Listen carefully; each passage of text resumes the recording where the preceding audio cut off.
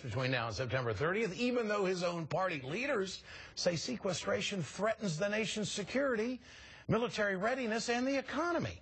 Now, Senator Paul wants us to believe sequestration is a good thing and the president is just overreacting. The sequester is a slowdown in the rate of growth of government. It's the least we can do. For the president to use this histrionics is really, I think, beneath the office of the presidency. Let's get some reaction tonight from our panel. Michelle, Michelle Goldberg joins us of Newsweek of the Daily Beast. John Nichols of the Washington, of the Washington correspondent of the Nation magazine. And also with us tonight, political strategist Angela Rye. Great to have all of you with us tonight. Thank is is the president overreacting? Let's just say that Rand Paul is spot on. John Nichols, is the president overreacting? He absolutely is not overreacting. The sequester is austerity.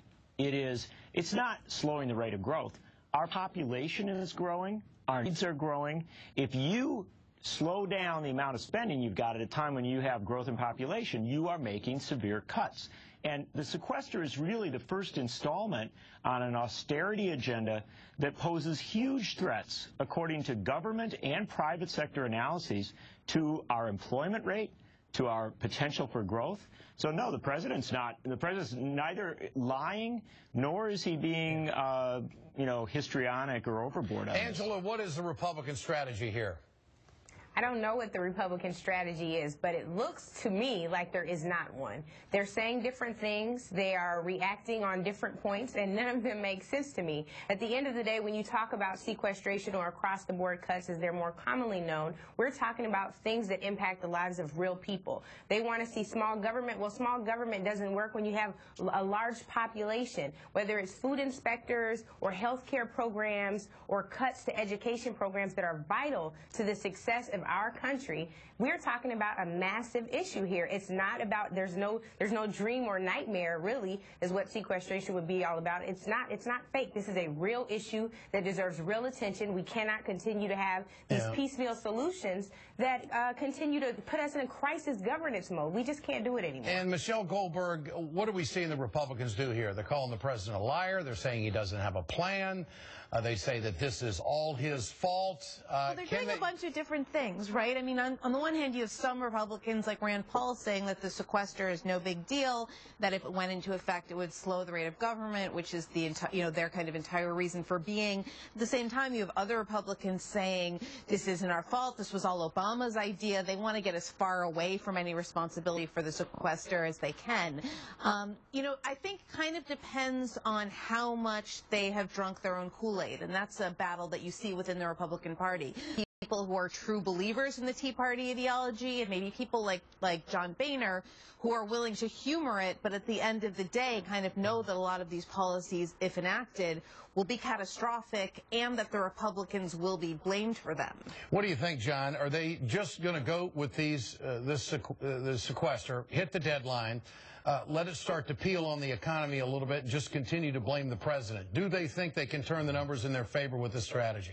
Well, from what I hear, talking to Republicans and Democrats, there is a view within the mainstream of the Republican Party, not the Rand Paul fringe, but the mainstream, that they should let the sequester go forward uh, on the theory that they need to tell their base that they are standing up to Obama.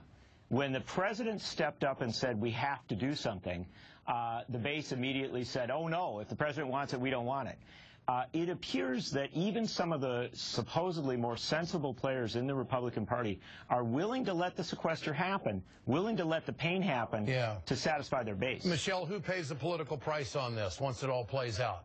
Well, I would like to think that the Republicans will pay the political price, and it seems likely. I mean, given the kind of popularity ratings of the Republican Party and of Congress more generally, and it seems that you can't quite, you can't say, as some of them are trying to say, that the sequester isn't a big deal, but that all of the pain from it is going to be Obama's fault. When people start feeling these cuts in their real lives, as they're going to, it's going to be pretty obvious who who it who it's been that's been willing to kind of shut down the government or derail the economy in order to force these austerity measures. I mean, we have gone from Boehner in the summer of 2011 saying he got 98% of what he wanted to all of a sudden this is all the president's fault as we're at this point right now. They don't know what they want. They're an unguided missile the way it sounds politically and they're searching for an identity and they're just going to let this go through because they're in the whole thing. Let's talk about another member of the Tea Party smear team. Rookie Texas Senator Ted Cruz is reportedly accusing Harvard Law School of harboring communists. Mm. The New Yorker posted this story today, quoting a speech Ted Cruz gave while he was campaigning a couple of years ago. Cruz reportedly said the communists were members of the Harvard law faculty while he was there between 1992 and 1995. Cruz refused to comment on the speech today. Uh, Senator Cruz was recently criticized for making some unverified allegations against Chuck Hagel last month. Uh, Angela, what about this? Is, is, Cruz just trying to make a name for himself with the Tea Party, or he is, is he really on a witch hunt? I mean, Senator Cruz is a rebel without a legitimate cause. I don't know what is going on with him, but every time you turn around, there's some new hyperbole that he's spewing. And, and today, to see him talking about, you know, the president is the most radical president ever. I'm sorry, but I want to know what the definition of radical is because to me, radical is a president who would come up with a mass communications campaign to deceive the American public into believing there's weapons of mass destruction. I hardly see anything that President Obama has done as radical. Senator Barbara Boxer uh, loosely compared Ted Cruz to Joe McCarthy. John Nichols, your thoughts. Is that a fair comparison?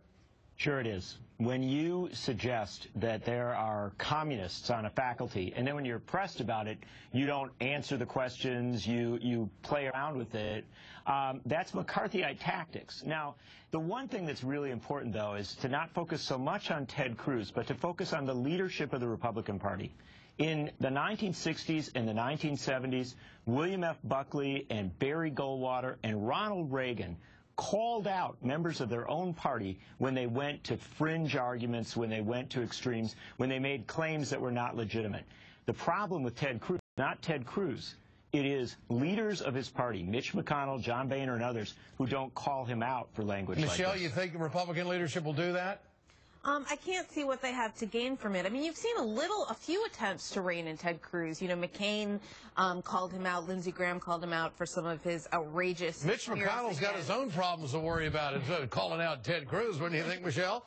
but part of it is that the party is that the the the leaders of the party, um, even very conservative leaders, are so incredibly cowed by their base. You know, for a long time, you had a party that very adroitly whipped up the frustrations and paranoia and yeah. suspicions of their base they're no longer controlling the base. The base controls them. And so there's not much leverage they have over it. They, have got just enough control to screw things up so legislatively nothing gets done. That's about where they are right now. Let's talk about another Texan uh, representative, Louis Gohmert, and his bizarre claims about guns and Sharia law. Here it is.